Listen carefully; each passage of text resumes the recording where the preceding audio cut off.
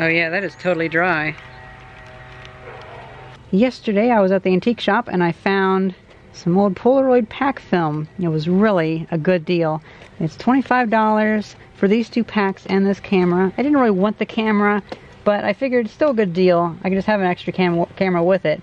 But actually, it turned out pretty well because my other camera that I have uses 4. Point, uh, or sorry, uses like 3 volts. This one uses 4.5 volts, but can go down to 4.2 volts. So I can just put a little 18650 in there without hardly any modifications and it'll work fine. So it's really easy to get that one working. So I'm actually happy I got that. Plus I got the manual. But this film, December 1978 expiration, and this one is November 1979. It's all nice and together.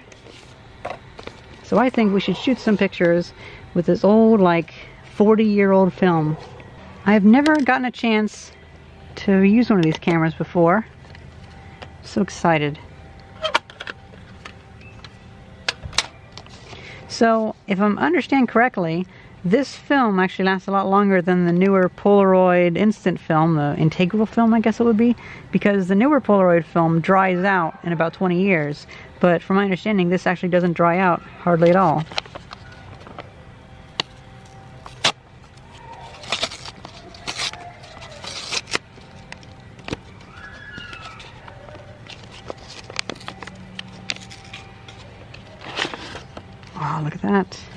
Inside the package.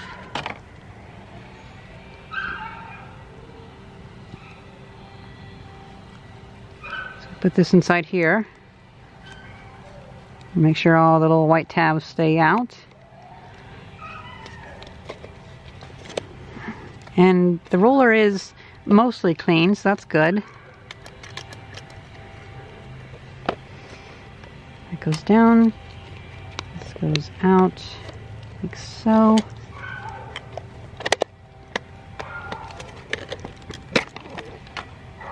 Like that, I guess. On this one, I'm going to be using the cold clip since it's actually quite chilly outside. I replaced the tape with a bit of gaffer's tape. What you do is you put this underneath your armpit and or in your armpit and it keeps the picture warm so it develops properly since this is a bit finicky whenever it comes to temperatures. So first we pull open this, so that pulls out.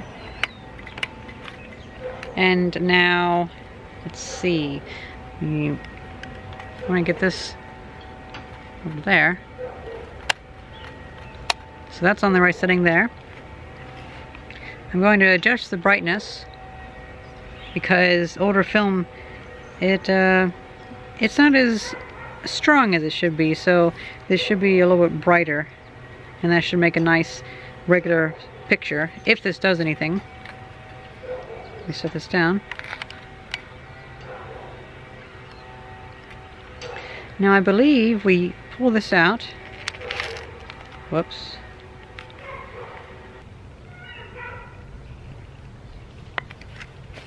Okay I did have it correct. Like so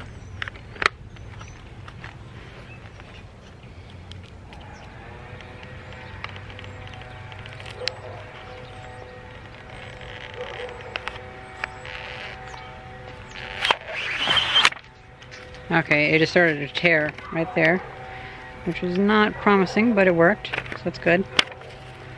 Now we need to focus. On the back, there is the main viewfinder, but on this hole right here, you have to look through. This is how you focus. You have to line up the two images, like so.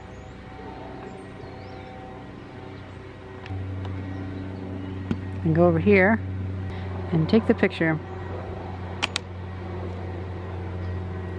You hear that? It did, like that. Let's see if this is correct. So now we've taken the picture, we've exposed the light to the, the plate or the, um, the negative. So we need to pull the negative through and hook it to the positive. And in the manual it says to pull this at the speed of pull it. Like say the word pull it and that's how long it should take to pull it out. So let's see. Whoops.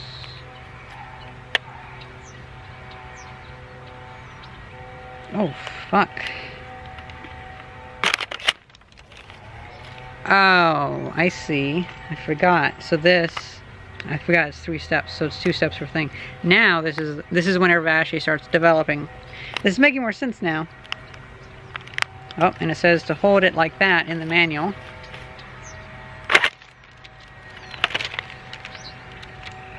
Oh. Oh yeah, that is totally dry.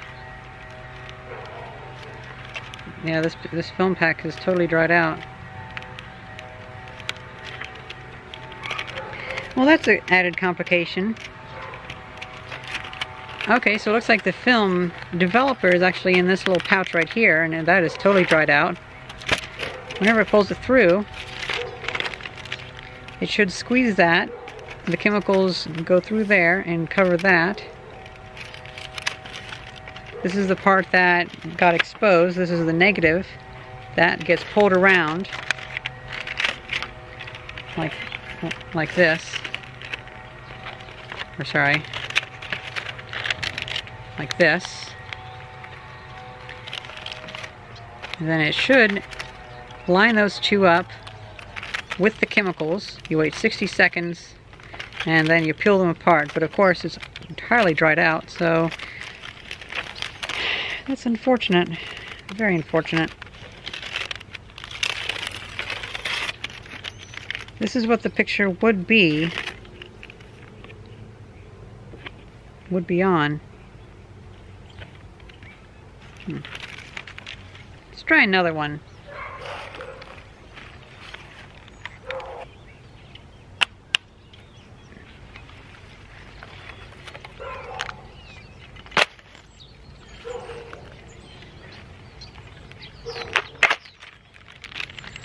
Dry once again.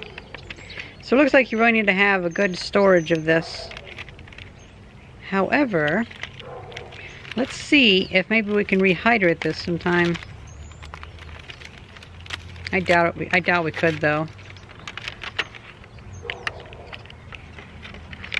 Strange how the packs changed color from green to purple.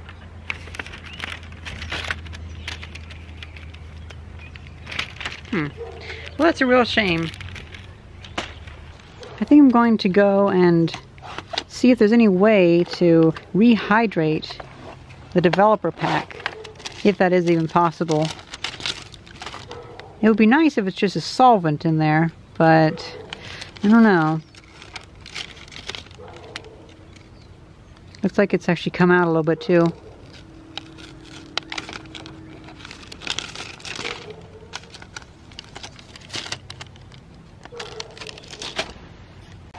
By the way, I just want to say I'm so glad we went to digital.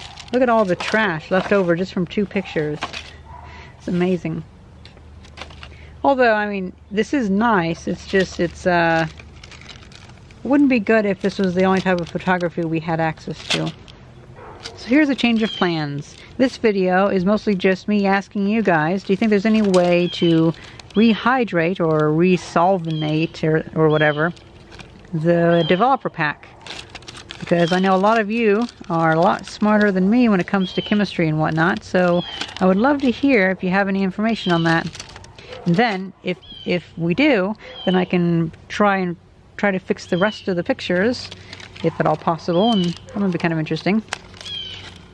But I think that might be a good, I, I should probably just stop and step away for a little bit and just see if you guys have any good information, and if not, then I can come back and try some of my own experiments. Hope you guys enjoyed this very short little video and thank you very much for watching. See ya.